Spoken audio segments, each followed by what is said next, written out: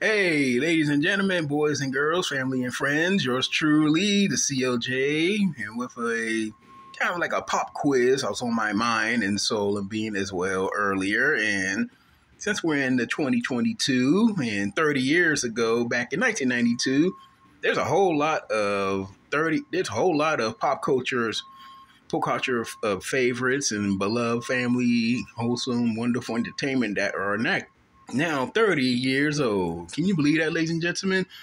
And let's begin. Drum roll.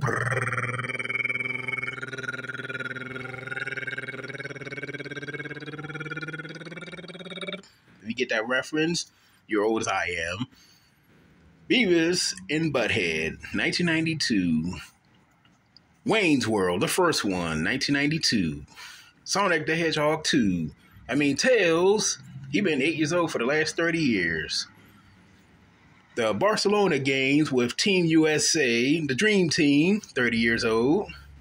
Let's see, what else here? Uh, help me out here, ladies and gentlemen. Uh, feel free to add to. I am just shoeballing this stuff.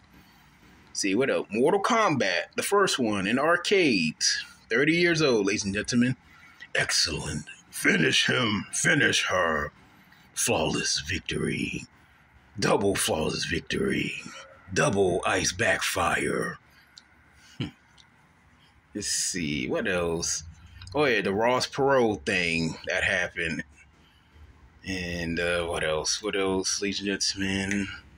What movies? Uh, boy, my my don't know. My mind is fried. I can't think of no other 30th anniversary, ladies and gentlemen. I think that's about it. Let me think for more, but, but yeah, feel free to comment down below, ladies and gentlemen, on the 30th anniversary of 1992 and all that. And yes, Pepperidge Farm Guys remembers.